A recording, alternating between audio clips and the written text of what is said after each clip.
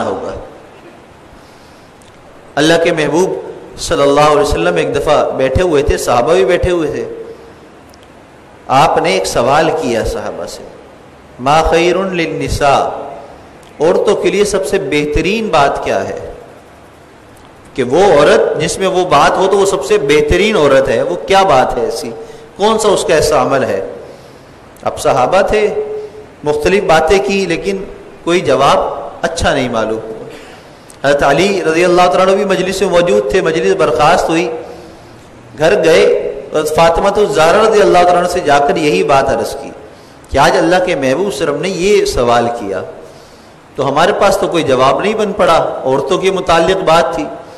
تو آپ بتلائیں، کیا رائے ہے آپ کی؟ اس کا کیا جواب ہے؟ بہترین بات عورتوں کے لیے کیا ہو سکتی ہے؟ حضرت فاطمہ تو زارہ رضی اللہ تعالیٰ نے فرمایا کہ عورت کے لیے سب سے بہترین بات یہ ہے کہ نہ وہ خود کسی غیر مرد کو دیکھے اور نہ کوئی غیر مرد اس کو دیکھے۔ یہ سب سے بہترین بات ہے عورت کے اندر۔ آج اس بات کو ہم موازنہ کریں۔ اب یہ جواب جب اللہ کے محب وسلم کی خدمت پہ آکت علی نے پیش کیا، اللہ کے محب وسلم مسکرائے اور فرمائے کہ فاطمہ میرے جسم کا ٹکڑا ہے۔ مطلب وہ جو بات کر رہی ہے وہی ہے جو میری بات ہے۔ میرے جسم کا ٹکڑا ہے۔ تو وہ اس بات کو سمجھ گئی کہ نبوت والی بات کیا ہے۔